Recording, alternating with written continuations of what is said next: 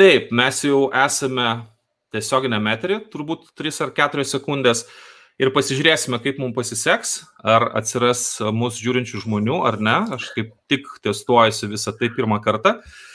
Tai va, labas Mindaugai, kol kas aš nematau nei vieno mūsų žiūrinčio žmogaus, bet gal taip ir gerai, mes įprastai galim pasikalbėti dviese. Ne, jau šeši žmonės mūsų žiūri, reiškia, mes iš tikrųjų esame tiesioginėme etrija, tai labas visiems. Nežinau, kiek jūsų bus, tai yra mūsų dešimtas pasikalbėjimas su Mindaugu ir mes nusprendėme padaryti, na, seniai jau apie tai galvojame, tokią gyvą transliaciją visiems YouTube, ne tik tai patronams, ne tik tai Patreon paskyroje. Tai va, sveiki, Vytautai, Andriau, Vaidotai ir visiems kitiems. Mūsų daugiau negu šimtas. Super, taip kad galime kalbėtis. Nežinau, ar jūs skaitėte aprašymą, pati mintis yra labai paprasta. Mes e, visą laiką kalbam apie tai, kas yra tradicinis ir netradicinis. Tradicinė šeima, netradicinė šeima. Tradicinė politika, netradicinė politika. Tradicinė žiniasklaida, netradicinė. Ir mes nusprendėm pasikalbėti su Mindaugu, tiksliau sakant, šiais man pasiūlė apie tas tradicijas, kurios mūsų supa visur, nuo politikos iki šeimos. Tai Mindaugai, Kodėl tokia tema ir kur aš neteisus? Jo, žiūrėk, skirmantai, tai dabar šita tema man kilo uh, sekmadienį, tiesą pasakius, kai mes uh, su tavim sekmadienį vakare susidarinome, kogi mes užsiemėme sekmadienį. Ir uh, tas, kas uh, sekate skirmantą ir nesekate manęs uh, Facebook'e, mes uh, na, pasipasakom, ką mes veikiam gal čia buvo pirmadienis, bet, žodžiu, aš pasakiau, kad aš važinėjau motociklu, įdėjau labai fainą nuotrauką, važinėjom uh, karštą mieste ir nu, nu, nufilmavome video kaip atšvaitas, kaip mes važiuojam su motociklu. Ir tas labai gražus vaizdas buvo vertas menininko plunksnos. Tugi pasakėjai, kad aš važiavau į kaimo turizmo sodybą, iškėpiau šašlą ir pasakėjai, kad žiūrėk, tu įdėjai savo ten tą video kažkokį tai labai meninį, kuris gėdos nepadarytų New York'e, E, ir tavo tas video sulauks, sulauks na, 20 laikų. Nu, jis ten maždaug tiek ir sulaukė. Nu, gal 30, nežinau. Ir tu sakei, aš įdėsiu šašlo gabalą ir tas mano šašlo gabalas sulauks 500 laikų. Ir akurat taip ir atsitiko. Ir e, šiaip jau aš pagalvojau, kad e, Lietuva, ko gero, sprendžiant iš to, kad tu gali įdėti bilę kokią kaimo turizmo sodybą ir žmonės tave uh, laikins, tai kad tu, ko gero, turi tokį jausmą tam tikrą apie tai, ko žmonėms reikia. Jeigu, pavyzdžiui, tu galėtum parašyti operą, manau, arba kokį baletą pastatyti, ir aš manau, kad vis tiek susirinktų pilnas operhausas žiūrėti tavo, tavo sukurtos operos, nes tu skirmantai esi tradiciškiausias, tradiciškiausių lietuvių ir kaip turėdamas šitą aštuntą jausmą jauti, kaip žmonės nori, ką žmonės vartoja ir dėl to tu visą laiką pataikai. Ar nuo to Lietuvai geriau? Ne, bet tave su tradiciškai orientuotu šeimos tradiciniu vyru labai sveikinu. Tai Mindaugai, taip ir susitarėm, aš užimsiu poziciją tradicinę, kaip visada, tu būk e, toje netradicinėje pusėje, jeigu nori, aš tau galiu pasakyti, kad e, man atrodo netaip svarbu, ką tu įdedi vieną ar kitą kartą, svarbu, ką tu bendrai darai, kiek tu esi pastebimas ir matomas. Visiems siūlau, jeigu norite, e, parašykite kažkokius klausimus. Mindaugai, mintis yra labai paprasta, aš visą laiką manau, kad tie žmonės, kurie yra už tradicijos ribų, kurie laužo tradicijas arba keičia tradicijas, jie yra pasmerkti būti nesuprasti. Jie yra pasmerkti būti mažumoje ir mes iš tikrųjų bijome pokyčių. Ir aš bijau pokyčių, ir tu bijai pokyčių. Ir ypač, kai aš tampu vyresnis, peržengiau 40 metų ribą, aš suprantu, kad aš tampu visiškai toks konservatyvus žmogus ir man visą laiką su nerimu norisi žiūrėti, kas ten darosi, nežinau, 20 mečių gretose ir taip toliau. Čia gerai ar blogai? Tau norisi, aš, žiūrėti, tau, tau norisi žiūrėti, kas dedasi 20 mečių gretose ar 20 mečių vyriškų. Muzika, no, anyway. muzika, žiūrėk, kinas. Žiūrėk, žiūrėk, bet, bet, bet visų pirma, jeigu mes bent kiek atsisuktume į, uh, į aktualiją, na, šiokią tokią aktualiją, čia, čia ir tas prezidentas, ir tapinas ir panašiai. Žinai, aš esu visiškai susikonfūzinęs ir aš nesuprantu tų tradiciškumų, netradiciškumų. Nu, pažiūrėk, netradiciniai įprastiniai protestuotojai, jie apsišaukia save tradiciniais. Kito tarpu visiškai tradiciniai uh, politologai, apžvalgininkai, uh, nusipelnę televizijos veikėjai, jie vaizduoja, na, nori būti save netradiciniais. Tai štai čia yra visiškai susipinę šitie reikalai. Ir labai keista, kad tiek vieni, tiek kiti yra pasimetę ir nežino. Dabar ar Ar Tomkus yra tradicinis, ar Tomkus yra tradicinis Lietuvoje dabar žurnalistas, galbūt 90 metais jisai toksai ir buvo, bet dabar tradicinis žurnalistas yra Tapinas, Jekilaitis, ten kokios nors ten Miliūtė ar ten panaši kompanija. Jeigu ten koks nors, na, Orlauskas, ar jisai labai yra tradicinis humoristas, ar Puidokas yra tradicinis politikas, neskirmantai. Tai yra kaip tik netradicinių šeimų sąjūdis už netradicinės pertvarkas. Tradicija yra, tradicija, tradicija, Lietuvoje tradicija yra Adamkus, Valatka ir Tapinas. Gerai, kodėl, pavyzdžiui, Puidokas, sakai, yra netradicinis politikas, kai jis yra klasikinis, tradicinis e, populistas, e, visą laiką, jeigu jam kažkas blogai, jis yra priežastį, kodėl kalti visi kiti aplinkui, bet ne jis pats, kodėl tu sakai, kad jis yra netradicinis? Na, todėl, kad uh, yra standartinis mainstreamas, uh, tokie, kokie yra lūkesčiai nuo 90 metų, jeigu jau kalbam apie, uh, apie politiką, tai yra standartinis įsivaizdavimas, kokia ta turi būti politika. Yra toksai tam tikras platus konsensusas tarp, tarp na, politikos apžvalgininkų, galbūt šiek tiek žiniasklaidos bosų, galbūt kažkokių tai uh, Mykolo Riomerio universiteto politologijos dėstytojų. Uh, ir kitų kompanijų, kaip turi elgtis politikas. Ir dabar ten yra na, visi labai teisingi, socialdemokratai tradiciniai teisingi, konservatoriai teisingi. Ir tada ateina koks nors puidokas arba paksas, kuris laužo tuos stereotipus. Aš nesakau, kad tai yra ten blogai ar gerai, bet jie visiškai nesipaišo į na, įprastinį žiniasklaidos piešiamą paveikslą arba politologų piešiamą paveikslą. Tu pasiskaityk, ką politologai aiškina, kaip reikėtų elgtis. Nu, tai taip reikėtų elgtis, kaip, kaip Adamkaus laikais visi elgdavosi. Tai dėl to tiek, na, koks nors puidokas, tiek tas pats Raškevičius e, yra netradiciniai politikai. Gerai, pirmiausia, aš matau, kad mūsų žiūri daugiau negu 600 žmonių, tai įsitraukiam, jeigu norite pasikalbėti, pasakykite, temos šiaip nėra, mes kalbam apie tai, kas yra tradicinis, mes pirmiausia, kontekstas labai trumpas, su Mindogu kiekvieną savaitę Patreon rėmėjams mes padarėme podcastą ir dažniausiai jisai apžvelgia mano epizodus, kas jo manimu yra ne taip, kur aš galbūt klystu ir kur mūsų nuomonės arba vertinimai išsiskiria. Tai vadinasi, tie epizodai Malinauskas neteisus. Ir šiandien yra dešimtas epizodas, mes nusprendėm, kad jį galime padaryti tiesiogiai. Mindaugo dar nebuvo YouTube kanale. Jeigu jums labai labai nepatiks, daugiau niekada ir nebus, aš juokauju, Mindaugai. O jeigu patiks, jis bus dažniau. Jeigu norite, klauskite, labai paprastas dalykas. Čia matau daug yra temų susijusių su teismais. Teismai dar vyksta, teismo posėdžiai bus rugsėjo 2, rugsėjo berots 9 ir spalio 18. Tiek toli yra nukelti teismo procesai, visos bylos sujungtos ir panašiai, apie tai pasikalbėsime. Dabar apie ką mes, apie ką turbūt verta pakalbėti, tai yra apie tradicijas. Gerai, Mindaugai, šeima. Kas yra tradicinė šeima? Mes labai dažnai tai kartuojame. Kas tau yra tradicinė šeima? O va aš tai šito ir nežinau. Mano tradicinė, matai, šiaip jau iš tikrųjų. Tai ateitis yra dabar, jinai yra tik tai nevienodai pasiskiršiusi. Tai Lietuvoje yra žmonės, kurie gyvena 2100 metais, o, o kiti žmonės gyvena 19 amžiuje, na arba kai kas 90 metais. Tai dabar tradicinė šeima, praktiškai mes turime Lietuvoje, ko gero, kelis trekus tos tradicinės šeimos. Viena tradicinė šeima, tai ko gero yra kur nors, na, gal taip, kaip įsivaizduoja koks nors ten Orlauskas, čia be jokių kalambūrų ar ten e, dalis tos publikos, kai ko gero yra pakankamai didelis mačio vyras, pakankamai, na, užspausta žmona, kuri e, verda jam cepelinus jisai vairuoja mašiną, dirba gal kažkokį fizinį darbą ir, ir rūpinasi šeima, ne va tai, ir dar parenka dukrai vyrą, uždraudžia draugauti su arabu, o sūnui 13 metų įpila degtinės, kad vyras paragautų ir kad žinotų, kad na, gyvenimas yra grėsmingas ir labai neteisingas. Kita tradicinė šeima tai gyvena ten skirmantai netoli tavęs.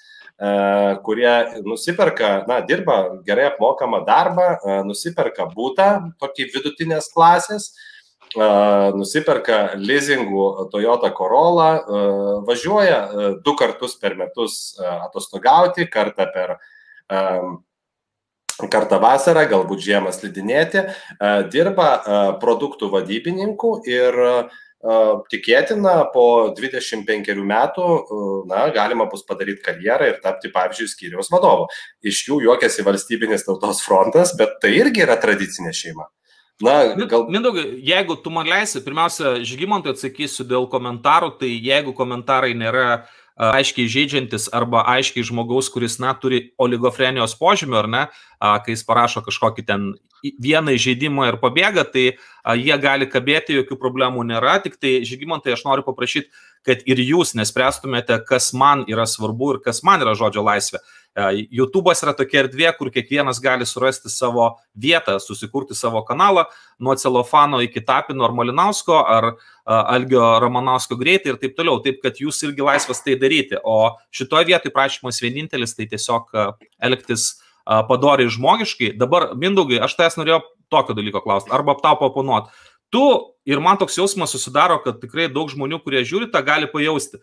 Sakai, žiūrėk, yra šeima ir tu ją pradedi, na, tarsi stigmatizuoti. Pa, pavyzdžiui, e, mačio vyras, kuris uždirba, o moteris ten kažkaip prie podų ir panašiai. Bet toks modelis, jisai yra gana įprastas, tikrai tradicinis, atėjęs per ilgus, per ilgus metus ir jisai visai tinkamas yra absoliučiai daugumai šeimų.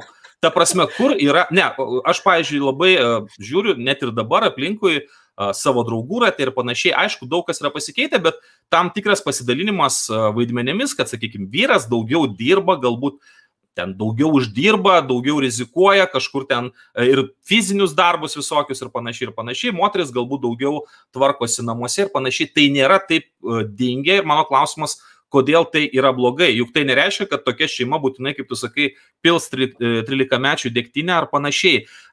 Tarsi žmonės, jie klausydami, jie gali galvoti, kad palauko, kodėl mes esame puolami šitoje situacijoje.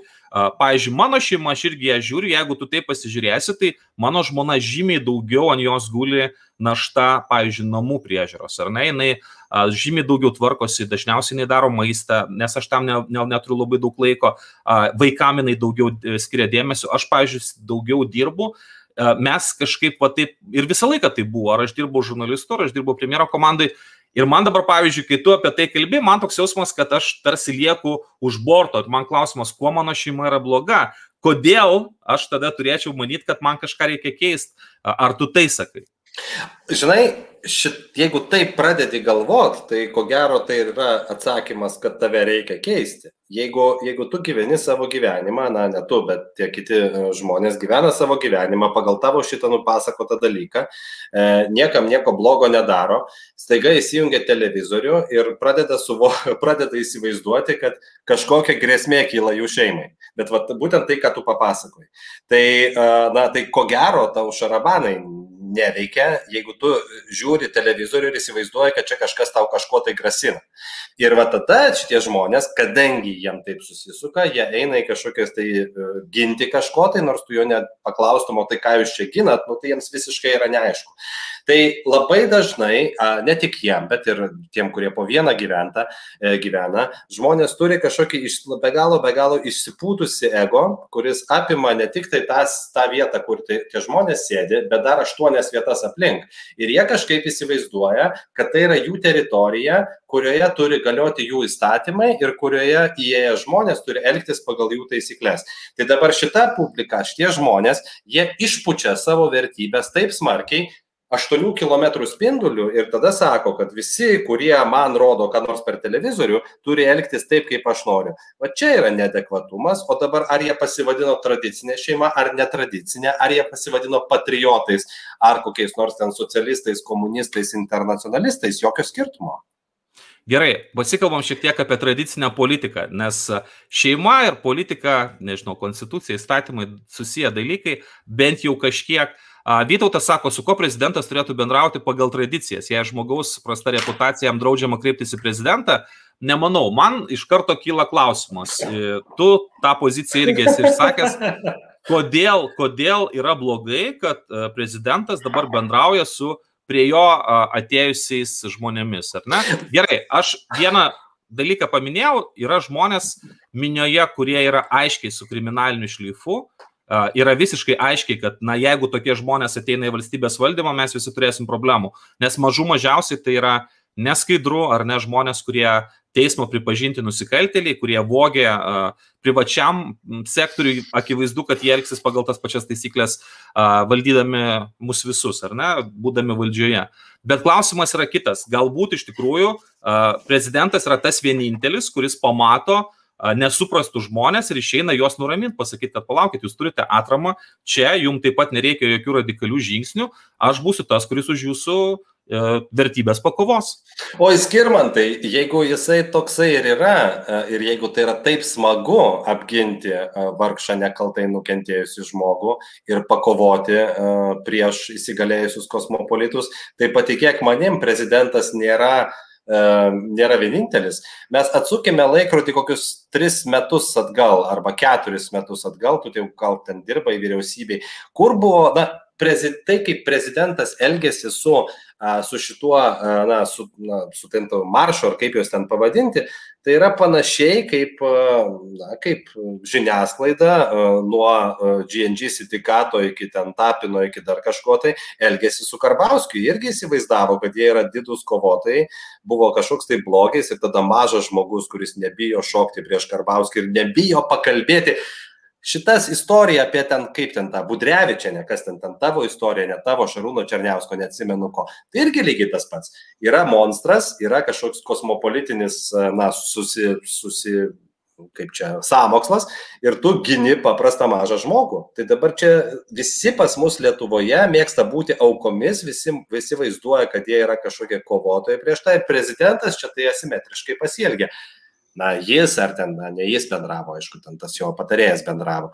Bet iš esmės, tai čia labai smagu yra būti neformatų. Visi, netgi ir patys formato politikai Lietuvoje yra neformato. Gerai, tu kalbėjai apie tai, kad, na, gal neformuluosiu už tave minties, bet suformuluosiu savo mintį. Jeigu mes jau taip kalbam, pavyzdžiui, apie Karbauskį, apie valstiečius ir taip toliau, tau netrodo, kad pas mus Lietuvoje, skirtingai negu Junktinėse Amerikos valstijose, labai trūksta, na, nežinau, Fox News arba kažko panašaus. Ta prasme, mes turime, ar tu nemanai, kad atsiduria dalis politikų ir dalis žmonių informacinėme laukia, kuriame jie jaučiasi labai nepatogiai. Nes tenai, sakykime, juk ne visiems yra priimtinos, nežinau, kažkokie ten nauji vėjai, naujos kažkokios vertybės, net, net ne visi supranta, kas yra žmogaus teisės ir taip toliau. Tai, tai kas, čia, kas čia yra jokingo? Tu pradedi kalbėti apie, pavyzdžiui, su žmogumu apie tai, kad žiūrėkit, partnerystės išgirsta žodį partnerystė ir jis įsivaizduoja, kad kažkas iš jo ateis atims vaikus a, ir eis juos vaikintis, ar ne? Klausimas yra, bet, bet kitas klausimas, kas formuoja tą informacinį lauką? Pavyzdžiui, kokia, kokia dabar juk turėtų būti kažkokia didelė grupė tos pačios žiniasklaidos atstovų, kurie galėtų palaikyti prezidentą ir sakyti, kad jis yra teisus. Kodėl to nėra? Ar čia nėra problema? Ar mes netampam vieno polio, informacinio polio visuomenę? Aš nežinau, kodėl ten ta yra ta problema dėl to informacinio polio, kodėl taip nedaro, nežinau ir dar to, to labiau, kad dar neaišku, kaip jie nedarys arba darys e, vėliau, tai čia kita istorijos dalis. Bet dabar tai, ką tu sakėjai, kad neturi atramos arba kad, na, baisu eiti į žiniasklaidą, tai yra būtent tai, ką šiandien pasakė žmonės, kurie, kurie sakė, kad neįsiu iš prezidento atsiminėti e, prizų. Man yra baisu ten eiti. Mano, e, na, ten yra toksiška, aš ten negaliu, negaliu pasirodyti ir čia ir vienas, ir kitas ir visi jie yra aukos. Prezidentas yra auka e, elito, e, na, ten kokie nors e, mūsų šviesi, šviesuliai yra aukos e, prezidento. Būti agresorium nevadinga, auka yra geriausias ėjimo būdas.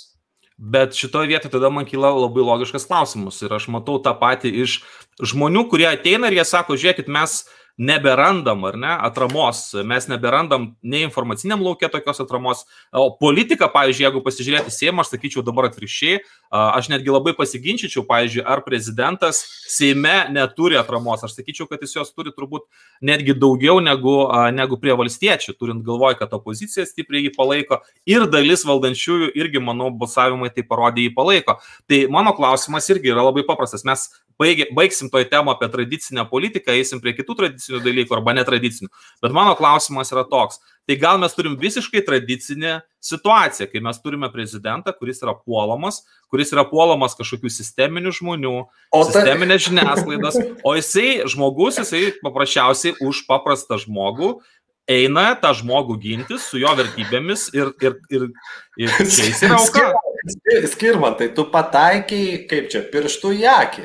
Ir garantuotai nausėda maždaug į ketvirtus savo kadencijos metus, ne ar ten aštuntus ar devintus, parašys autobiografinę knygą, kurią pavadins Nustokime krūpčioti ir jisai kalbės, kaip jį visi puolė, kaip visi bandė susivienyti aplink jį, tam, kad jį pastumti ir kaip jisai drąsiai prieš juos atsilaikė, kaip jisai už paprastą žmogų stojo prieš kovą su elitu, kuris bandė nušluoti, o prezidentas, prezidentė atsilaikė. Taip, vis tu papasakoji apie, apie Dalį Grybauskaitę.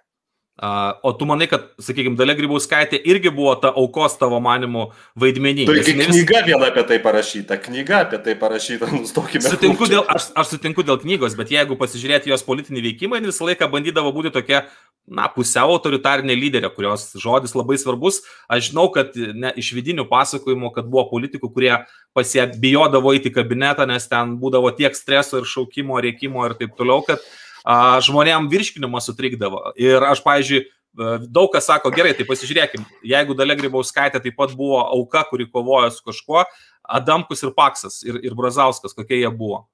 Kur ta tradicija lietuviška? Ar jie buvo aukos, ar buvo bent vienas, kuris buvo ne, šita, šita, taikytojas?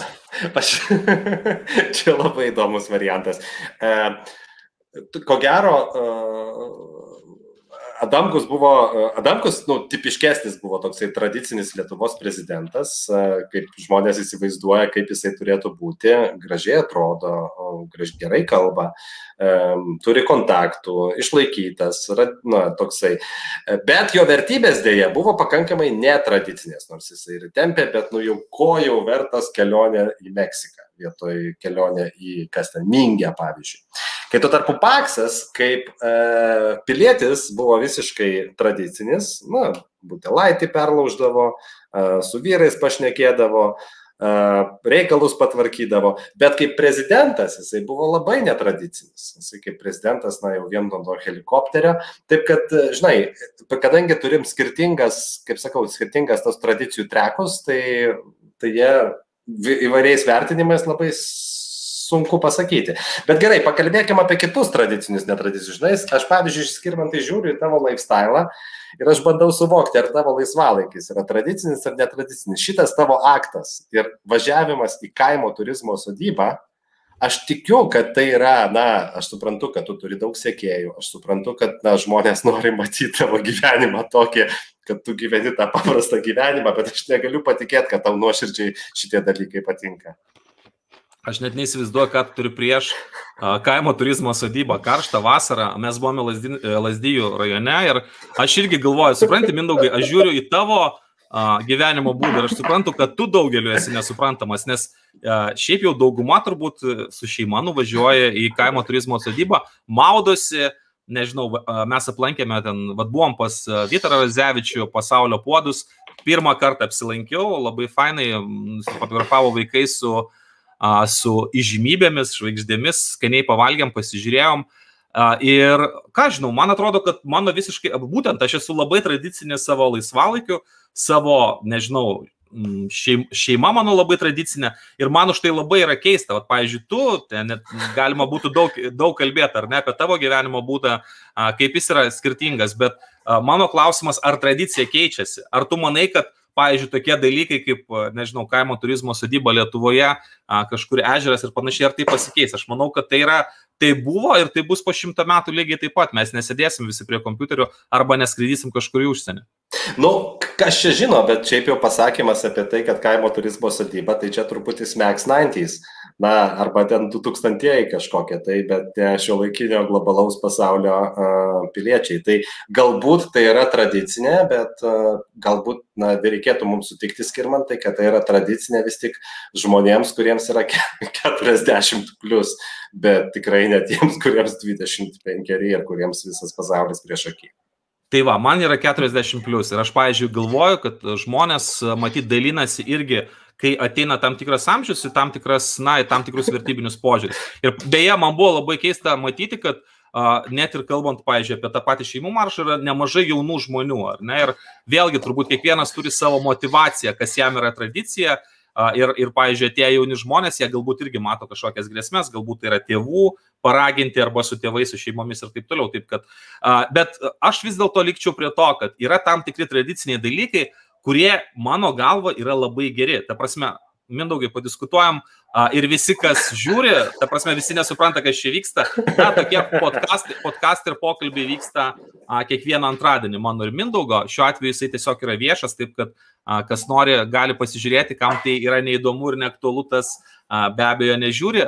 Mindaugai, mano klausimas yra toks, o kodėl mes žodį tradicinis staiga pavertėm su tokia neigiama kanotacija, tarsi neigiamų atspalvių.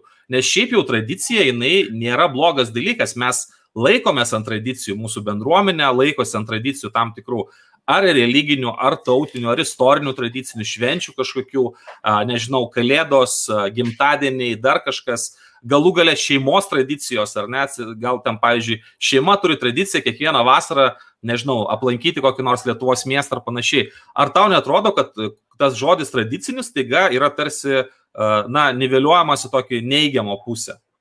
Nu, va, telės žino, aš, aš, tai, aš tai čia turiu tokį, na, dviejopą požiūrį. Iš vienos pusės, taip, na, modernu ir paprasta sakyti, aš esu ten tradicinių pažiūrų žmogus ir dėl to, kaip tradicinių pažiūrų žmogus, teoriškai vakarų Europoje tai būtų na, stabilumo garantas, o jau Amerikoje tai iš viso tai būtų atrama, į kurią remiasi Amerikos esybė. Bet dabar pasižiūrėkime, kaip ta Amerika atsirado. Tai gyveno laisvi žmonės, kadangi tam tikrom problemom spręsti jiems reikėjo reikėjo kažkokiu tai na, bendrų investicijų, tai išsirinkdavo savo atstovus, rinkdavo mokesčius ir tas bendras investicijas darydavo. Ir, ir tada tie jų atstovai ar šiai kovojo už tai, kad valdžia neduoktų dievę neįžengtų į teritoriją, imtųsi reikalų tų, kuriuos žmonės patys galėtų susitvarkyti. Dabar Lietuvoje tradicija arba na, konservatyvios pažiūros yra labai sunku suprasti, apie ką jos čia yra, į kokius mes čia dalykus referuojame. Mes ką čia referuojame į sovietmetį, na tai tada va, tikrasis tradicijos, tai yra sovietmetis, gi niekas iš mūsų neatsimename, kaip ten buvo prieš karą, tas, kas, e, na, galim dabar pasakoti ten kažkokias istorijas apie tai, kad išsaugojom lietuviškus papročius, gal kažkokius tai simbolius ir išsaugojom, bet visas kitas yra tam tikra butaforija. Ir jeigu jinai lieka e, dogmatiška, Tai, e, tai tada jo, tada, kaip matėjai šiandien, e, Žygimantui Pavilioniui liūdna bus dėl tradicinės religijos romuviečių e, nuteisimo ar ten kažkokio tai išteisinimo. Tai va, tai va tokia tradicija, tai yra kaip nu, pagonys, tai gražu pasižiūrėti iš toli, bet ar tai kažkokia tai prasme, tai greičiau tokius dalykus keistis ir pasaulis juda ant tradicijų tai tikrai nesiremia. Nėra tokios šalies pasaulyje išskyrus rytus, Šiaurės Koreją, Kiniją ir panašias. O tau netrodo, kad tokie dalykai gali puikiausiai dėrėti, pavyzdžiui, kalbant net ir apie tą pačią Romovą, kuri tapo staiga politiniu uh, politinių žaidimų dalimi, čia ir teismai jau įsikiša ir taip toliau, truputiniai, bet mintis juk yra paprasta, jeigu mes esame paskutiniai pagonės Europoje, mes galime būti dabar katalikiška, krikščioniška valstybė, bet prisiminti savo istoriją. Mes, pavyzdžiui, vėl kalbėjom apie, apie pasaulio podus, kurie yra merkinėje su vaizdu į piliakalnius. Mes turim tuos piliakalnius, mes turim ten, nežinau, kažkokius likusius, likusias tokias šventas, ten gyrės kažkokias ar panašiai, nesu tikrai didelis specialistas. Kur čia yra, kur čia yra problema, kaip, kaip pavyzdžiui, škotai nešioja savo kiltus ir prisimena savo tradicijas, ar ne, kaip tu gali rasti pačius pačias įvairiausias, nežinau, ten kažkokių pilių griuvėsius ir taip toliau. Ar mes tikrai turėtume su tokią pašaipą į tai žiūrėti, nes man atrodo, kad tai irgi žmonės užkabina. Jie mato tame vertybę ir staiga kažkas ateina ir tą vertybę kesinas ir tada jie eina ginti.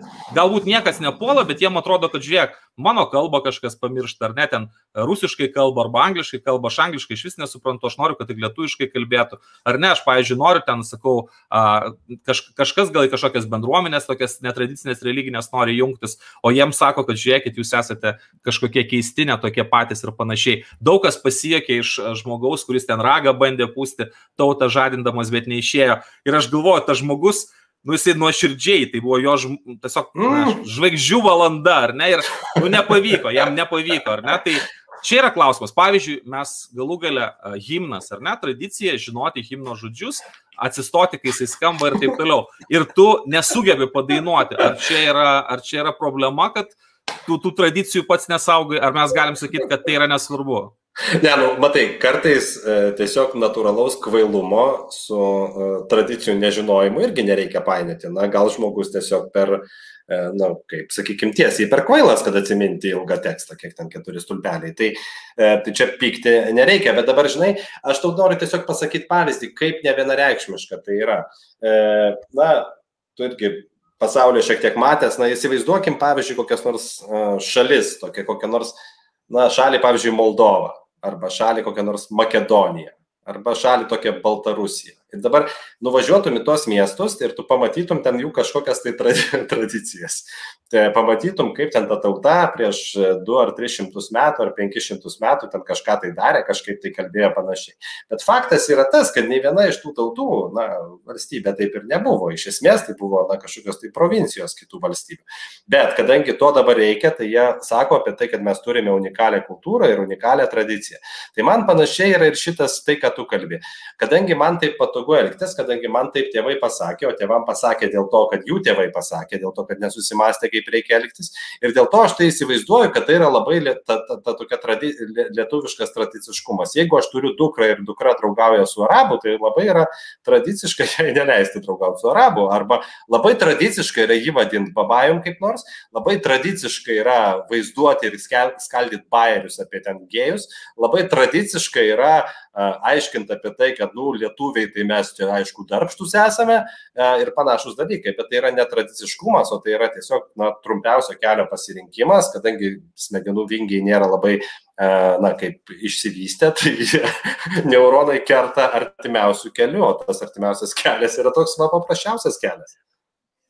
Gerai, aš būčiau linkęs su dalykais nesutikti, bet neužsiciklinkim, nes aš matau ir iš komentarų žmonės labai nustebę, kas, kaip čia vyksta ir apskritai apie ką mes kalbame. Na, iš tikrųjų, ne visą laiką aš kalbu vienas, savo epizoduose aš tai darau vienas, laivos iki šiol tai dariau vienas, bet vėlgi tradicijos kai kurios irgi gali keistis, mes galim pabandyti tai padaryti ir kartu su Mindaugu, o Kristijano, nežinau, koks tikras vardas ir pavardė rašo, apie kaimą arba gerai arba nieko, aš dar vieną dalyką noriu su tavim bent jau aptarti, ar tu nematai labai tradicinės takoskiros, kurie atsiranda Vilnius kaimas, didieji miestai provincija ir jinai atsiranda beveik visada. Žmonės klausia, Mindaugai, kodėl tu juokiesi po kiekvieno mano pasvarstymo, ar tu e, kažkas sako, gal tu žalės parūkė ir panašiai, aš sakau, baigti, negali būti. Tiesiog, ar čia aš juokingai kažką sakau labai. Tiesiog, nu, Mindaugai, mm. pabandom pasišnekėti rimtai, nes aš žinau, kad e, žmonės pakankamai rimtai į tai žiūrės, matau pagal komentarus, jie klausia, ar aš rimtai kalbu apie anglų kalbą, pavyzdžiui, dėl anglų kalbos. Aš kalbu rusiškai ir angliškai, aš suprantu, kad daugeliu, pavyzdžiui, mano vaikų tas klausimas jis net ne, nekyla dėl anglų kalbos, jinai iš tikrųjų atėjo į mūsų gyvenimą ir tai yra labai, labai gerai. Mes iš tikrųjų be anglų kalbos, na niekaip šio laikinėme pasaulyje, ar kalbant apie informaciją ir taip toliau, neišsiverstum. Ir aš labai dažnai sakau, kalbant apie visokius verslo mokytojus ir panašiai, jeigu jūs mokate kalbą, jūs rasite žymiai kokybiškesnė informacija įvairiausiomis temomis. Bet vienas dalykas, aš bandau įsijausti į tuos žmonės, kurie yra vyresni ir kurie, sakykime, praleido jau savo gyvenime tam tikrus etapus. Jie jaučiasi nesaugus, aš bandau kalbėti apie tai. Jiem tada pasidaro tradicija, kad visi kalbėtų lietuviškai. Ir beje, aš tą patį naratyvą labai stipriai jaučiau, jeigu jau tai prisimint, kaip, pavyzdžiui, buvo klausimas dėl um, prezidento, ar prezidentų reikalinga anglų kalba ir Saulis Karnelis mokėsi kalbos ir nemokėjo užtikrintai ir tada jis tai labai aiškiai argumentavo, kad, na, visą laiką bus vertėjas. Tai čia vat yra dalykai, kurie mano galva labai stipriai visą laiką atsiria. Tas, kas moka lengvai a, ir, ir gerai kalba anglų kalba, aš manau, kad jie šneku pakankamai laisvai, jisai mato privalumus, ar ne to, ir jisai tai pabrėžia. Kas nemoka anglų kalbos, jisai visą laiką pabrėžia, kad žiūrėkite, man yra svarbu lietuviškumas, tradicija ir taip toliau. Tai va, aš bandžiau tuos dalykus sudėlioti. Mindaugai, dėl kaimo ir dėl, ir dėl miesto, ta takoskira tradicinė Lietuvos politikoje. Nu, žinai, aš aišku, čia turiu gal kažkiek radikalių, radikalaus požiūrio, bet kai čia vertina, kalba apie tai, kad Lietuvos kaimas ten tuštėja, tai apskritai pirm, pir, startas yra toks, kad to kaimo greitai Lietuvoje neliks, ko gero. Ir tikiuosi, kad liks vienkemiai, kuriuose gyvens žmonės, kurie kažkokiu būdu galės pasiekti ten tą, tas gyvenamas vietas, arba jeigu tai bus kaimas, tai bus kažkokia tai didesnės aglomeracijos priedas su savo restoranu ar panašiai. Ir tas tokios teritorijos, kaip gyvena penki kiemai, ten baubė karvės, gėda gaidys ir basakojas lietuvaitės porugius braido, kad tokių dalykų na, nebeliks. Ir jų ko gero, na, visa istorija rodo, kad ko gero į tą pusę einam. Ir dabar kažkas verkia dėl to, O aš kaip žmogus netradicinis, aš dėl to sakau, aš nepergyvenu, o kodėl nepergyvenu, o gal todėl, kad to kaimo niekada tokio ir neturėjo būti šiaip jau Lietuvoje. Kas čia išgalvojo, kad kažkaip tai turi kažkokios būti gyvenvietės, kur gyvena penki, na, penkios šeimos arba ten penki namai. Neturėjo, turėjo būti miestai, ir vienkemiai. Ir va čia tada aš suprantu. Taip kad jeigu dabar ir yra kažkoks konflikt, konfliktas tarp miesto ir kaimo, greitai jo nebebus, nes kaimo greitai nebeliks. O kodėl tu sakai, kad e, tai, turėjo būti taip arba kitaip? Ta prasme, vis, Lietuva visada buvo a, pakankamai, na, tokia agro, agro valstybė, ar ne, kurioje tikrai buvo labai a, svarbu a, žemdirbystė. Lietuvoje visą laiką kaimas buvo labai svarbus ir tiesą pasakius, aš net nematau tendencijos, kodėl tu sakai, kad būtinai sunyks, galbūt atsiras visai kitas dalykas, kas jau yra toje pačioje vakarų Europoje, tai yra keliavimas į kažkokias žmonių turint galvoje, kad tu gali dirbti nuotoliniu būdu ir taip toliau, pasirinkimas savo geresnės aplinkos, švaresnės, pigesnės žemės, kai tu gali nusipirkti ne a, ten 5 arus, o galbūt 15 arų ir taip toliau. Beje, a, aš irgi, kai tu sakai, pavyzdžiui, kalbant, man teko nemažai važinėti po Lietuvą ir aš nesakyčiau, kad Lietuvoje, sakykime, tik didėjai miestai uh, klesti. Yra tikrai puikiausiai sutvarkytų nedidelių miestelių ir kaimų, aišku, tikrai ne visi su savo problemom. Mano toks man iš karto, kodėl tu taip, vat, kodėl būtų gerai, jeigu būtų vienkėmi ir didmešiai, to nesu. Ne, skirma, tai žiūrėk, nu, visų pirma, visų pirma nelygink dabar uh, apie kažkokius, tai kaip Lietuvoje buvo istorijos ir ten tie kaimai ir panašiai. Tais laikais nebuvo kaimų vis tiek, tiesiog miestai buvo mažesni. Ir uh, to, tai, ką mes dabar vadiname kaimus, tai de facto buvo miestai. O dabar dėl ko jie, e, kad tu sakai, kad sutvarkyti, na, e, gyvenimo kokybė ir gyvenimo kokybės e, dispersija ir sklaida, atstumai, jie yra be galo sumažėję.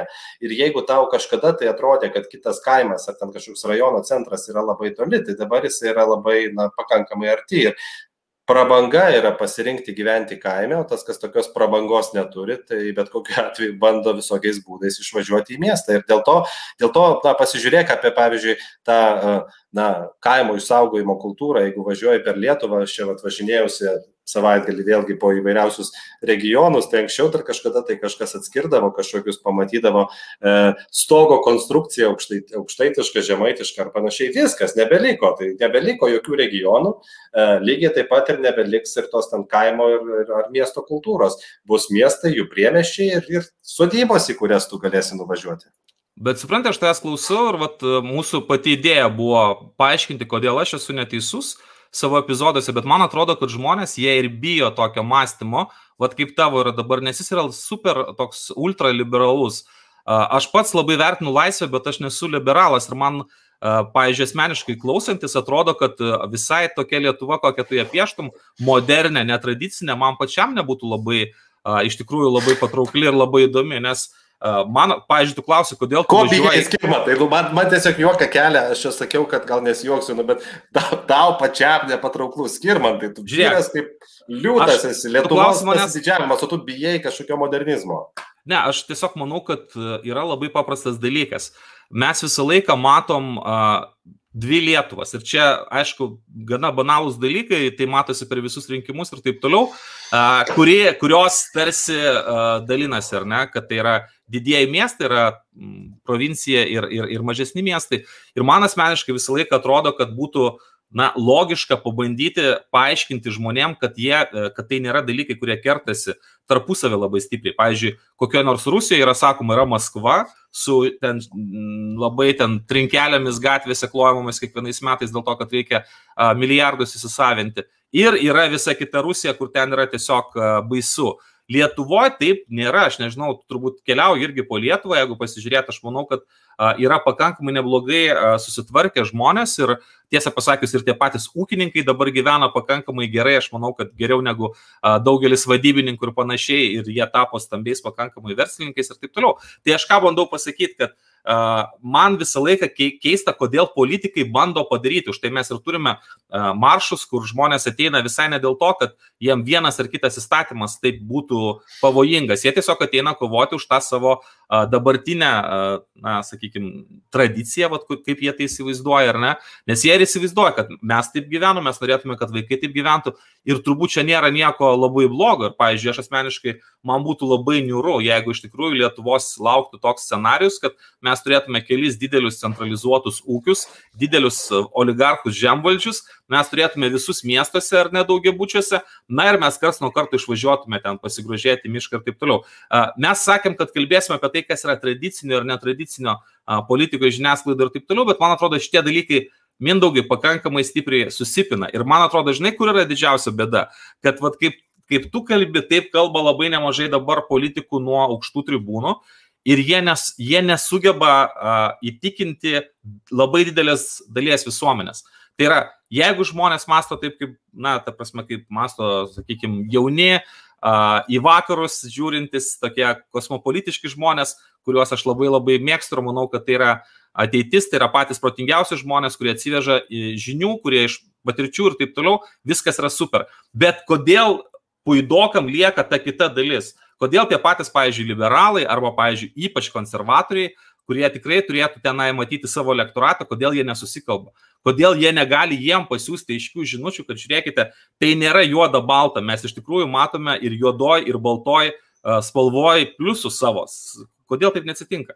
Na, šiaip jau manau, kad tu gal ko gero suabsoliutini šiek tiek du dalykus. Man, sakau, aš čia um, taip įdomiai e, atrodo, kai tu sakai, kad kaip tu kalba e, politikai iš e, tribūnų ir ten didėja atskirtis ir panašiai, nu tai aišku, tai jeigu taip kalbėt kaip aš, tai tada, tai tada atskirtis didės.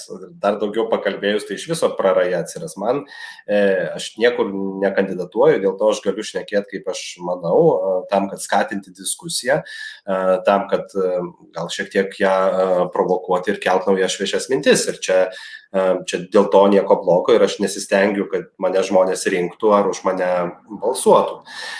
O dabar dėl to, kad e, e, žmonės, na, e, jaučia kažkokią tai grėsmę, tai vis tiek, kaip be pažiūrėsi, bet manau, kad žaidžia tokį pralaimintį žaidimą.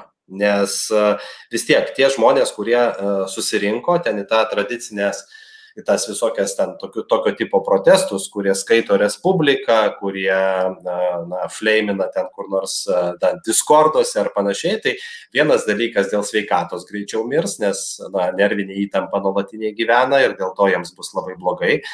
Iš kitos pusės, jie ko gero prie šito pasaulio yra menkiau prisitaikę ir tie žmonės, kurie moka anglų kalbą, kurie žiūri plačiau, kurie atvažiuoja į miestus, jie natūraliai gauna didesnį įtaką jų lifestyle'as yra tiems, kurie gali pasirinkti, yra tikrai pranašesnis. Na, paklausk e, provincijos abituriento, kur tu norėtum e, gyventi, e, baigęs mokslus, tai na, tikriausiai su didesnė dauguma žmonės pasirinktų važiuoti į miestus, važiuoti, būti tarptautinės pasaulinės kultūros dalimi, negu kad likti prie ten kokią nors autoservise padangas montuoti.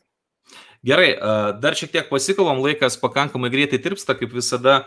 Tais mūsų antradieniais ta duobė, komunikacinė duobė, kurioje atsidūrė prezidentas, bet galbūt čia visai nedobė, galbūt galima sakyti, kad opozicija atsidūrė toj dobė, čia kaip pažiūrėsi.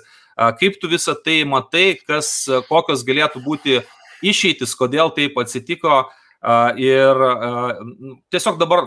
O čia kokioje dobėje skirmantai? Na, tiesiog suvo, skaitant ar ne tai, kas yra dabar rašoma, kalbama ir taip toliau, primenama apie visus tuos marginalus ir, ir žmonės, kurie iš tikrųjų su kriminaliniam praeitim. Ir jie dabar staiga tampa ambasadoriais prezidento, kurie, kurie siejami su juo ir taip toliau.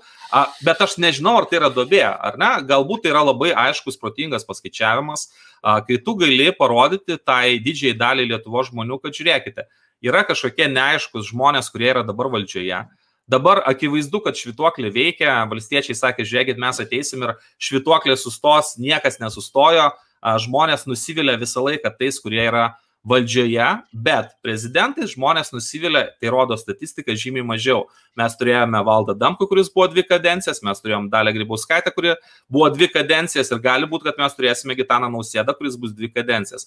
Reiškia, kaip tu vertini dabar tą situaciją? Ir mes čia kalbėjom aktualiai, viena yra iš tų aktualių, kad Andrius Tapinas ir ne tik Andrius Tapinas atsisako apdovanojimus priimti iš prezidento rankų, yra žurnalistai, kurie buvo neįleisti prezidentūrą Bet iš kitos pusės prezidentas dabar gali sakyti, žiūrėkit, jie visi yra prieš mane, yra frontas, kaip ir Malinauskas lygiai taip pat, o aš esu su tauta, su tais, kurių yra daug, kurių niekas negina. Kaip tu tai prognozuoji? Nu tai čia paskutinė tavo frazė visiškai, čia net nereikės Grybauskaitės biografijos knygos perrašinėti, apie tai aš esu su tauta prieš elitą. Bet dabar, e, na, įsivaizduokime kitą scenarių, arba ne kitą scenarių, tą scenarių, kuris turėjo būti ir kas čia kvailesnis šitame scenariuje.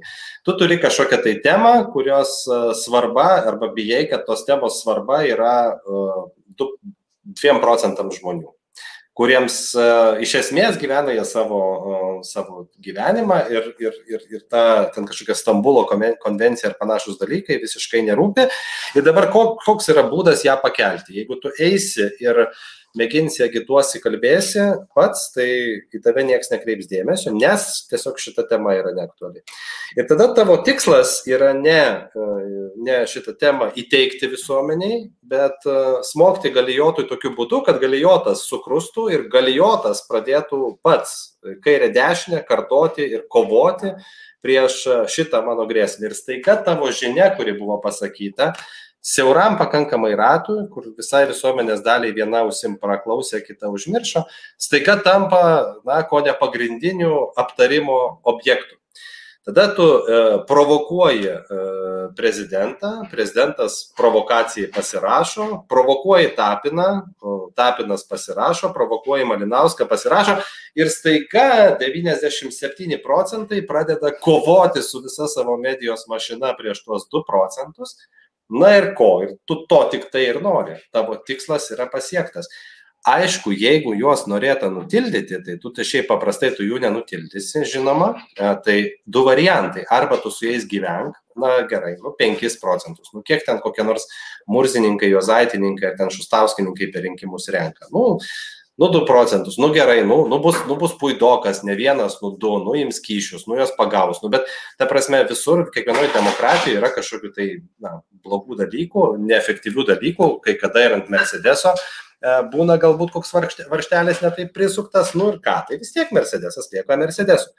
Čia vienas variantas, o kitas variantas yra tai reikia sugalvoti ir čia tam reikia na, gebėti šiek tiek na, viešuosius ryšius valdyti, gebėti pasiūlyti savo projektą, kuris eitų kontr šitam, kas čia yra dabar siūloma. Čia aišku jau sudėtingas įėjimas, bet šiaip jau tu turėtum pasiūlyti savo naratyvą. O jeigu tu vien tik tai ginsies, ką dabar realiai daro, va šitie visi tavo paminėti žmonės, jie dabar ginasi. Jie tie padarė įėjimą, susirinko į mitingą, nors jisai buvo uždraustas ir tada dabar visi mes kaltinam ir panašiai. Ką darytų proaktyvus meras arba šimašius? Sakytų gerai, tvarkoju, prie Seimo rinktis negalima, bet galima rinktis pašilaičiuose. Opa, automatiškai perėjai į kontrpolimą. Nes tu jau turi iniciatyvą, jie turi gintis. Ir politikoje tas, kas turi iniciatyvą, tas laimi. Ir dabar va šitie tavo visi išvardinti, jie iniciatyvos neturi, jie tik tai ginas ir todėl jie na, rizikuoja pralaimėti. Matai, aš nežinau, ar yra geriausias pasiūlymas dėl pašlaičių, bet man apskritai yra nesuprantama, jeigu tu vieną kartą leidai Vingio parke mitingą, kuris tikrai buvo mažai panašus į a, politinę akciją, o daugiau į, na, nežinau, ir koncertą, ir a, tokius tie pasisakymai buvo gana, gana radikalūs ir taip toliau. Kodėl tu to paties neleidai paskui prie Seimo, nes prie Seimo, man atrodo, yra ta, kalb, ta vieta, kur tu turėtum kalbėti apie a, politiką ir, ir prie Seimo vyko labai daug akcijų pačių įvairiausių. A, ir langai Seimo savo laiku dužo, tai jau nebūtų pirmas kartas, a, tiesiog vėlgi čia ir policija, aišku, reikia pasiruošti, bet aš galbūt taip, a, taip tolinėsiu, man pačiam turbūt vienintelis yra klausimas, kodėl man šita tema buvo svarbi, nes aš kažkada padariau epizodą apie uh, Artūrą Orlauską, kai jisai ten tiesiog tyčiojasi žmonių, kurie dirba ligoninėje, jis man atsakė, Antanas Kandrotas taip pat buvo mano epizoduose. Ir man kažkaip yra labai keista, kai žmonės, kurie turi labai labai, na, tokias keistas pažiūras, labai įdomią biografiją, netgi atlikinėja bausmes, sėdėję pravieniškėse, staiga, kai tik tai jie atsiduria štai šito judėjimo smaigalyje, natūraliai jie turi savo mediją kanalus, jie iš karto gali tos medijos kanalus labai sėkmingai ir efektyviai naudoti. Staiga jie tampa tokia oreolė, jeigu tu darai kažkaip juos kritikuoji arba darai apie juos, reiškia, tu esi prieš kažkokias vertybės, prieš kaž... tu esi, reiškia, tu esi politikas, o politikas tada jis yra neliečiamas. Taip, Puidokas masto, kad jeigu aš esu politikas, tai mano telefonas, nepaisant to, kad yra teismo sankcija, negali būti paimtas, aš turiu teisę nepaklūsti pareigūnams, lygiai taip pat masto ir kiti, kad žiūrėkite, jeigu aš pasėmiau trispalvę į rankas, aš jau nebesu nusikaltelis. Aš jau nebesu tas žmogus, kuris ragina daryti nusikaltimus kitus.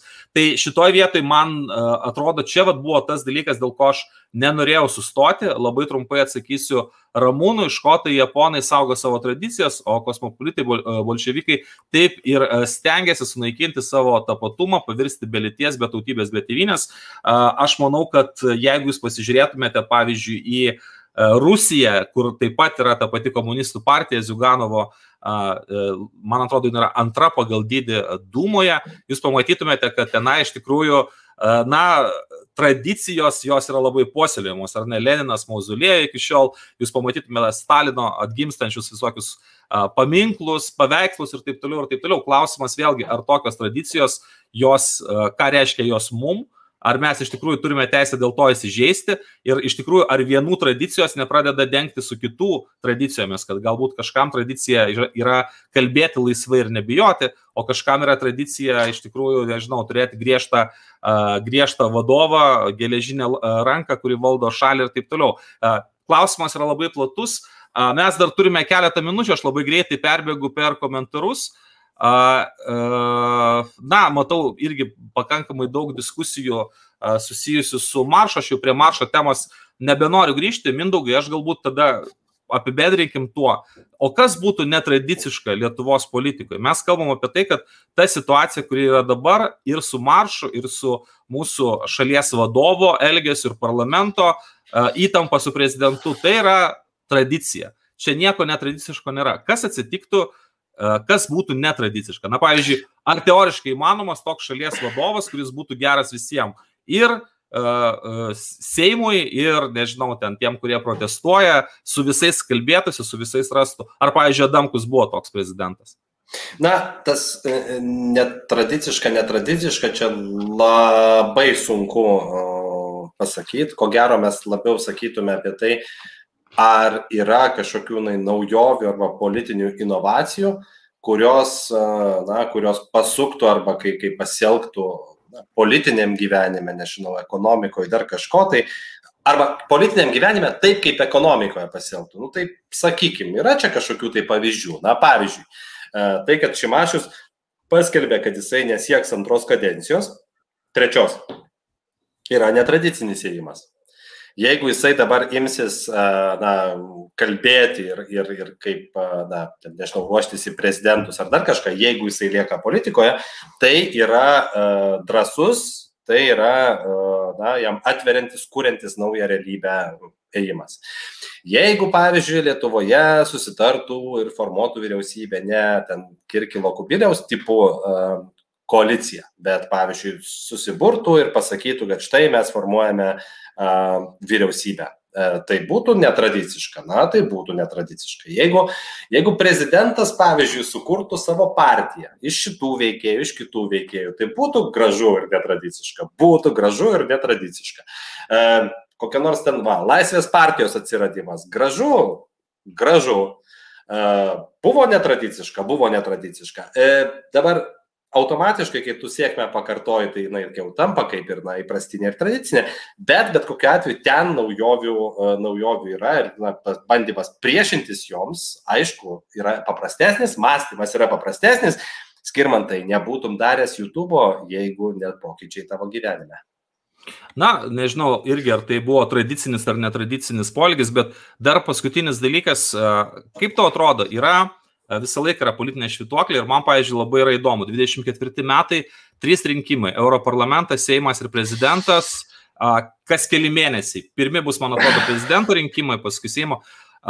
Šiaip tai viskas tarsi diktuoja tai, kad pagal logiką vėlgi ta švituoklė turėtų grįžti į kairę, tai socialdemokratai, tie patys valstiečiai, galbūt kažkas iš naujai susikūrusių, atėjusių, prisijungusių ar panašiai, ar ne, darbo partija ta pati kairiai, nors jinai klasik, turėtų būti šiaip jau dešinė, pats, pats Uspaskis sakė, kad yra liberali politinė jėga, bet kai mes pasižiūrime, kas balsuoja, galbūt Lietuvos Lenkų rinkimų akcija vėl atsidurs politinėje arenoje. Mano klausimas toks, jeigu ta švituoklė pasisuka ir dar šalia mes turime prezidentą, mes turime prezidentą, kuris yra labai labai a, toks, vat, a, nežinau, tradicinių pažiūrų, jisai iš principo deklaruoja dabar tai, kad e, jis yra iš principo su opozicija, ar mes neturėsime, na, labai įdomių keturių metų, kai mes galim labai stipriai pasisukti nuo dalykų, kurie yra dabar. Mes, pavyzdžiui, diskutuojam apie partnerystės įteisinimą, ten, e, nežinau, žolės dekriminalizavimą ar ne, kažkokie dalykai ten, kurie,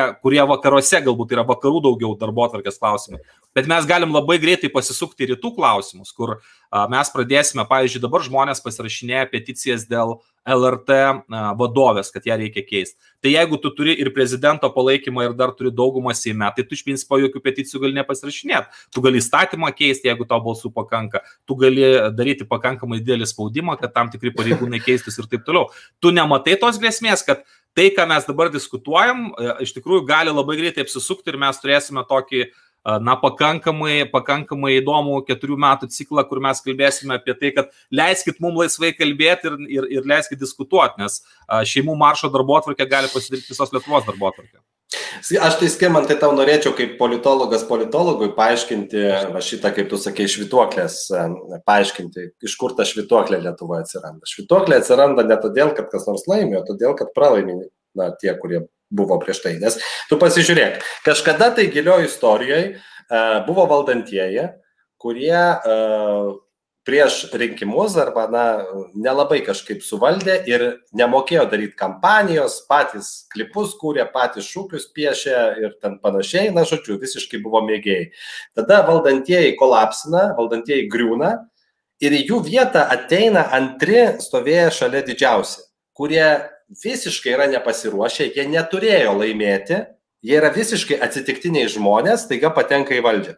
Tada jie keturis metus pukši, pukši, pukši, pukši ir kadangi jie šiaip neturėjo būti net ir pradžioje valdžioje, jie po ketverių metų kolapsina ir griūna. Tada vietoj to, kad ateitų kažkokie laimėtojai, tiesiog ateina tas sekantis, kuris stovėjo eiliai, kuris irgi visiškai neturėjo laimėti, ir kuris vėlgi da, pukši tos keturis metus ir griūna. Ir mums taip atrodo, kad čia kažkas laimi, iš tikrųjų niekas čia nelaimi, čia tiesiog pralaimi valdantieji. Dabar šita prasme, šitie paskutiniai rinkimai, e, man atrodo, kad čia e, ko gero vienas iš tų retų atvejų, kai laimėjo laimėtojai. Ir žiūrint į 24 metus, aš manyčiau, kad tai nebus taip, kad uh, šitie laimėtojai tiesiog kolapsins ten 24 metais. Taip kad e, greičiausiai, kad tokio ten radikalių švituoklių ir panašių dalykų nebus, bet jeigu bus prezidentas su a, ten su kažkokios tai vat, a, e, daugubom savo ir panašiai, tai laukia labai įdomus metai. Aš tai esu tik tai už vyrai, moteris, eikime į sporto salę, auginkim raumenis, nes ten reikės aukšto lygio politikos, o ne taip kaip va čia Lietuvoje, išstojau, nuėjau į LRT, pašnekėjau kažkokius taip pliurpalus ir dabar noriu, kad visi mane pritartų ir visi man dvaro politologai patvirtinat, jo, jo, teisingai sakėjai, pritarėm. Na, jeigu reikėtų man rezumuot, tai aš turbūt pasakyčiau, pirmiausia, atsakysiu Mindaugui, kad mes esame tikrai netradicinė, nes nežiūrim futbolo. Tiesiog taip yra, mes kiekvieną kartą su Mindaugu va tokiu metu apie 9 val. antradieniais įrašom šitą podcastą, tai dabar pabandėm tai padaryti tiesiog YouTube kanale, jisai čia ir liks, pasižiūrėsim, kam tai yra įdomu, kam ne, be jokios abejonės suprantam, kad konkuruojam su futbolu, bet vėlgi, kai pasibaigs futbolas, kas nežiūri gyvai, galės uh, šitą podcastą surasti nėra labai didelė problema. Kalbant apie politinę perspektyvą, man tokį labai politinį padarėm tą pokalbį, nors veltui, norė, veltui norė, norėtųsi kalbėti ne tik apie politiką, ar ne? Bet politika apsprendžia labai daug ką iš tikrųjų ir tiesą pasakius, politikų kalbėjimas daug apsprendžia. Aš, pavyzdžiui, bandžiau įsivaizduoti, kas būtų, jeigu politikai būtų vietoj to, kad taip draskėsi viešumoje, jie paprasčiausiai būtų susitarę už uždarų durų ir išėję pasiūlę ir vienai ir kitai pusė sakytų, žiūrėkit, mes radom kompromisą. Kaip tai būtų netradiciška ir kaip tai būtų, na, neįtikėtina. Išeina ir Karbauskis, ir Landsbergis, ir Šimonytė, ir, ir, ir Skvernelis, ir, Nausėda visi sustoja prieš kameras ir sako, žiūrėkit, mes radome kompromisą, kuris tinka visiems. Ir Karbauskis sako, tai yra labai gerai, mes savo ten apgynėm vertybės. Ir Armonaitė šalia stovinti sako, žiūrėkit, mums tai irgi tinka, tai yra labai geras kompromisas. Kiek tai duotų naudos iš tikrųjų valstybei, bet tai atrodo, kad yra iš viso neįmanoma, tas politinis žaidimas visada kažkodėl virsta politiniam rėtinom. Mindaugai, aš prognozuočiau, kad po, po šituoklė tikrai siubos ir pakankamai stipriai, aš manau, kad tam yra labai daug priežasčių. Man šiek tiek gaila konservatorių, ta prasme, kad jie tikrai turi pakankamai dominuojančius partnerius ir tų partnerių darbo atvarkę. Aš pats palaikiau Laisvės partiją dėl to, kad man yra svarbu būtent žmogaus teisės ir laisvės, kad, na, matėsi, kad jie pakankamai e, efektyviai moka jas ginti. Klausimas tik tai, ar tai ne nuo konservatorių nepatrauks dalies rinkėjų, tų pačių, vad, kaimuose, tradicinių ir taip toliau. Mes pamatysim. Ne dėl to, kad aš norėčiau į politiką leistis, bet dėl to, kad man pačiam labai įdomu, kaip atrodys mūsų valstybė, pavyzdžiui, po penkerių metų. Ir savo vietą tenai nežinau, ar, pavyzdžiui, aš turėsiu galimybę turėti YouTube kanalą, ar aš nebūsiu sureglamentuotas, sureguliuotas, tai po teismus užtampytas, subauduotas ir taip toliau. Ar nebus pakeisti įstatymai kaip nors kvailai, nes tą galima padaryti, ar ne, prisidengiant pačiais įvairiausiais dalykais. Net ir tuos pačius tarptautinius įstatymus, teisės aktus, ar neperkeliant į nacionalinę teisę galima padaryti pačių įvairiausių dalykų. Mes su bedaro dabar matom, kiek yra problemų. Tai tokie, toks buvo mūsų pokalbis Ačiū labai visiems, kurie žiūrėjo, kas žiūrėjo futbolą ir kitus dalykus. Be jokios abejonės šitą epizodą galės surasti, taip pat savo patronom paliksiu. Savaitgalį, kaip visada, YouTube kanale pasirodys naujas epizodas, mano patronam jisai jau bus matytas, na, o patronai taip pat pamatys dar vieną jau mano epizodą, kalbant apie kabutėse tradicinius epizodus, at mes kalbam apie tradicijas, tai nuo kai kurių tradicijų aš irgi nebėgu, tą valandos epizodą. uh, skirtą pakankamai įdomiai temai. Aš rytoj važiuoju į Kauno tardymo izolatorių ir ten turėsiu pakankamai įdomų pokalbį, taip kad tikiuosi, kad iš jo gausis labai įdomus epizodas. Ačiū visiems, kurie žiūrėjote ir iki. Iki, iki.